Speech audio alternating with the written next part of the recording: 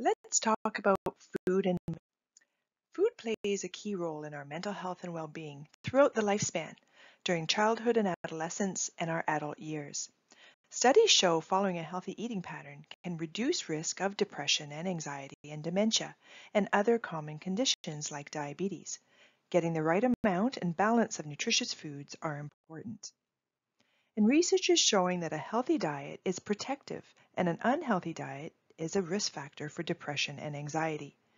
There now exists compelling evidence for nutrition as a crucial factor in the high prevalence and incidence of mental disorders, which suggests that diet is as important to psychiatry as it is to cardiology, endocrinology, and gastroenterology. And there's some exciting research showing randomized control trials called the SMILE study, reporting that one third of participants that had depression in the study after they followed a healthy eating pattern, such as the Mediterranean style of eating, a third of the participants reported resolution of those symptoms of depression. So how exactly can diet affect the brain? There's several theories, and one is around neurotransmitters, that the foods we eat provide nutrition and nutrients to build or make the neurotransmitters, such as serotonin and dopamine, that impact on our mood and mental health. Other theories are on reducing oxidative stress and reducing inflammation in the body, as well as uh, providing those building blocks for brain cell membranes, such as omega-3 fats, which are highly prevalent in brain cell membranes. In addition, another theory is around receptors, as the gut has many, many uh, receptors for serotonin in the GI tract. So what does a healthy brain diet look like? Diets that are healthy for the heart are also healthy for our brains. So those are eating patterns that are rich in plant foods such as fruits and vegetables, nuts and seeds, legumes such as peas, beans, and lentils, whole grains for fiber, fish as a source of omega-3, as well as dairy products such as milk, yogurt, and cheese, and healthy fats such as olive oil. Brain healthy diets are also low in unhealthy foods such as processed or ultra processed foods, fast foods, and sugary foods. So one style of eating that's showing benefits on brain health is the Mediterranean diet. And there's a snapshot here, a picture of the foods that are included in that style of eating. And to the right side, you'll see a list of 12 questions. These are things that are components that are part of the Mediterranean diet. And so you can actually go through that list and give yourself a point for everything you can say yes to. So the Mediterranean diet is quite high in healthy fats. You'll see question number one is I have four tablespoons or more of olive oil each day.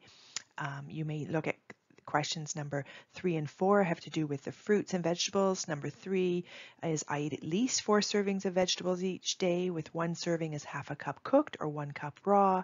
Question number four is that I have three or more fruits or one and a half cups of fruit each day. So you can see this is quite a high um, intake of fruits and vegetables in this style of eating.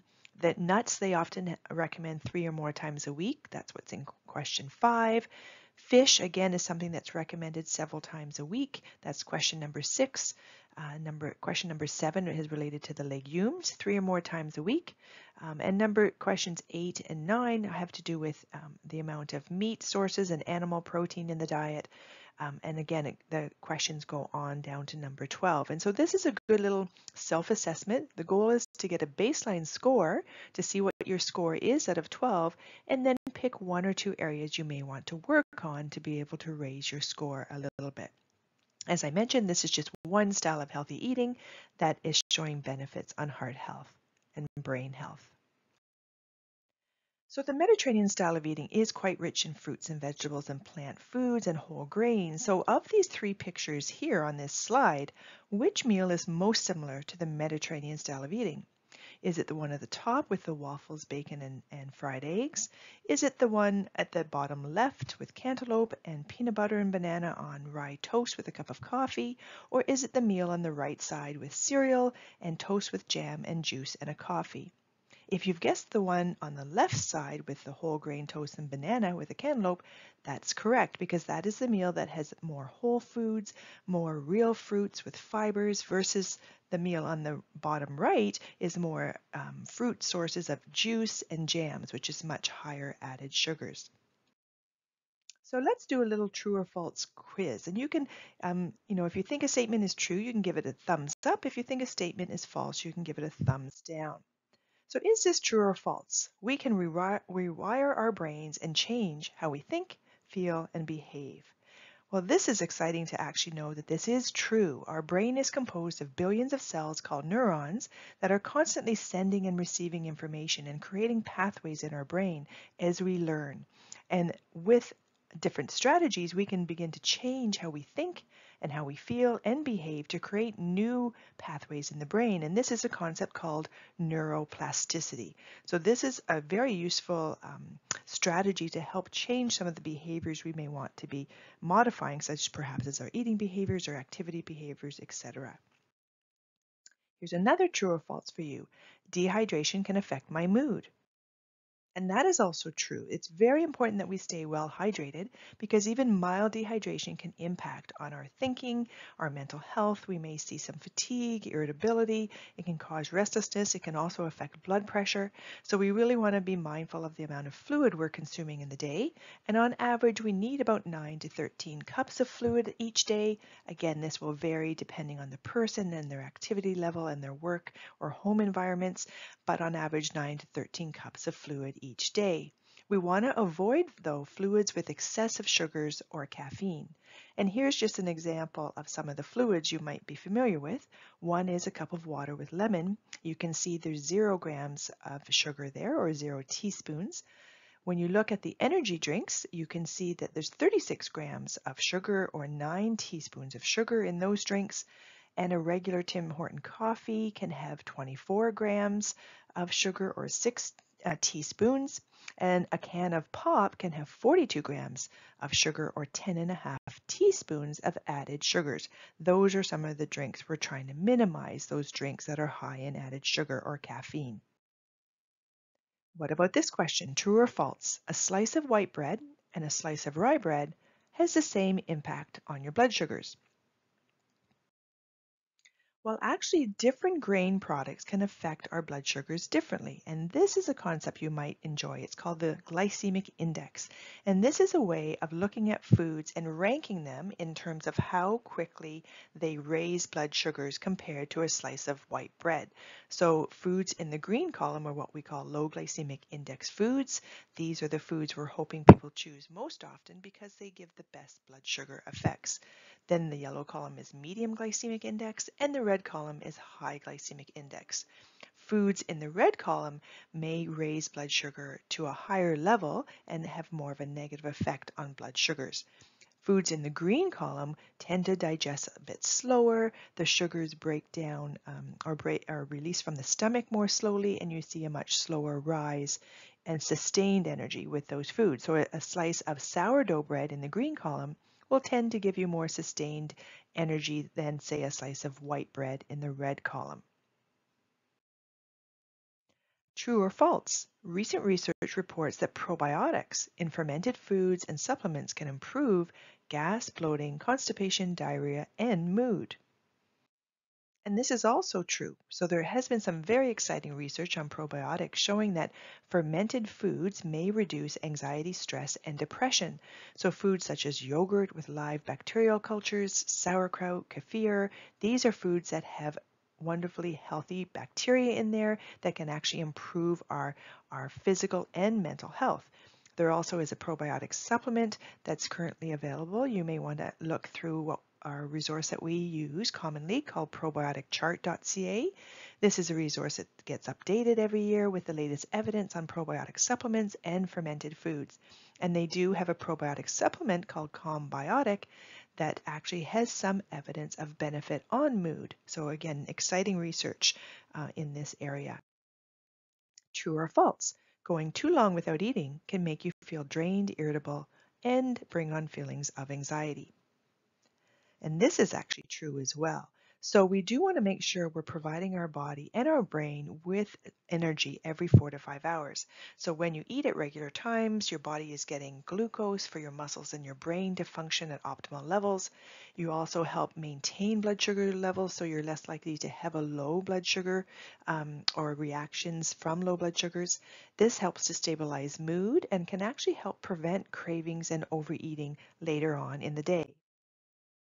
True or false? Protein and carbohydrates work together to boost serotonin levels in the brain, which helps with mood, sleep, and feelings of joy. And this is actually true. So you can see here from this list, different nutrients are needed to make different neurotransmitters. So at the top of the list here where you see serotonin, some of the key nutrients to make serotonin are tryptophan, which is an amino acid, which is in protein, glucose, as well as vitamins B6 and B12. And those components are needed to make serotonin. And serotonin is very important for mood and emotion regulation. And if you're deficient in serotonin, you may notice symptoms of low mood, difficulty sleeping, uh, low um, pain inhibition, and not feeling having feelings of joy. And likewise with some of these other neurotransmitters like dopamine, we need the amino acid tyrosine and vitamin B6 to make dopamine. And dopamine is very important for motivation and also for managing cravings. Now it's important here that amino acids and protein are very important for making neurotransmitters, but so is carbohydrate foods as you can see. So we do want to make sure meals have both of those components because too little carbohydrates, so if someone is avoiding things like fruits or milk or yogurt or whole grains, you may notice effects on your mood, things like feeling a bit cranky or constipated, and you may find it a bit harder to think, work, or exercise. So when we're looking at meal planning, we really want to try to aim for a balanced meal. And the picture on the left actually shows you a plate where we're trying to aim for vegetables and fruits at the meal. We're trying to have the other side of the plate being one quarter of the plate protein foods, um, as well as the remaining quarter whole grain foods. So we really want to make sure that those protein foods are there at the meal because again, protein and carbohydrates do make these neurotransmitters. So we're aiming for at least a quarter of the plate to be protein or the size of your palm. That's another way to estimate your protein serving. Or if you're looking at numbers between 20, 25 to 30 grams of protein at a meal. And when you're picking protein, we encourage you to pick a variety of different proteins, both animal protein and plant protein. So foods like yogurt, milk, and cheese do provide us with vitamins D, B12, and magnesium. Fish, for example, gives us omega-3 and B12 and D and zinc. Poultry, eggs, those are some of the really good sources of animal protein. Then we also have some wonderful plant proteins, the bean family, legumes, which are peas, beans, and lentils, are a great source of fiber, magnesium, and potassium, as well as nuts and seeds give us some of our healthy fats, our vitamin E, and, and minerals like selenium. So true or false again, salmon is a good source of omega-3 fats. It's a healthy type of fat that reduces inflammation and is associated with lower rates of depression. And that is in fact true. Omega-3 fats called EPA and DHA in particular, these are animal sources. It's called epa-pentanoic acid and dexa-hexanoic acid. These types of fats are found in fatty fish, certain cold water fatty fish, things like salmon and trout and mackerel. These are the fish we're encouraging people to have two or three servings a week if they can, if they enjoy those those sources. If someone is switching to more of a plant-rich diet and, and wanting to pick a plant-rich source of omega-3 fats, they might be picking things like walnuts or flax seeds or omega-3 eggs where they've fed flax seeds to the chickens and in this way their level of alpha linolenic acid would be higher and that is another type of omega-3 fat that's a plant source. Another question for you. Is vitamin D a common deficiency in Canada? And has it been linked with increased risk of depression and bipolar disorder?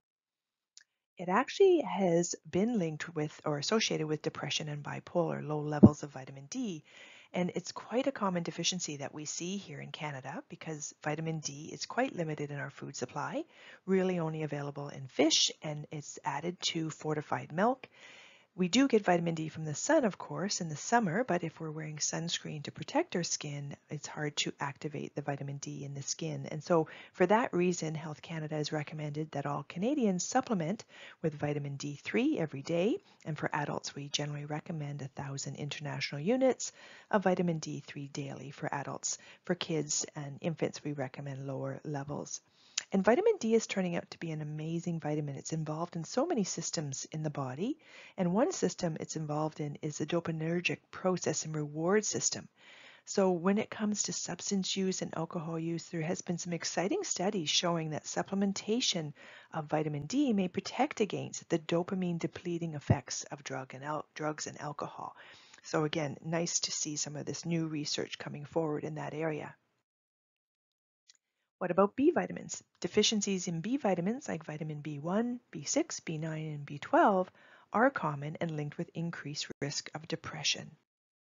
And that is also true Vitamins, uh, B vitamin deficiencies are very common, especially in substance use disorder, and are linked with increased risk for depression. And so for everyone, we do recommend healthy eating to get those uh, B vitamins from your food sources. And if you're concerned that you may not be getting enough from food sources, you may want to supplement with a multivitamin and mineral supplement once a day. And if you have um, you're managing uh, alcohol use or drug use and you're trying to uh, reduce that, you may want to consider B100 complex daily, which will give you additional vitamin B1, which is known as thiamine, um, because that is so easily depleted with daily alcohol use. What about magnesium? Magnesium is an important mineral for sleep and the production of brain neurotransmitter. This is also true. So magnesium is important in many different functions in the body for bone health, muscle function, and it's an enzyme cofactor for many pathways. And so it's very important that we get magnesium-rich foods every day, and pumpkin seeds in particular are quite high in magnesium.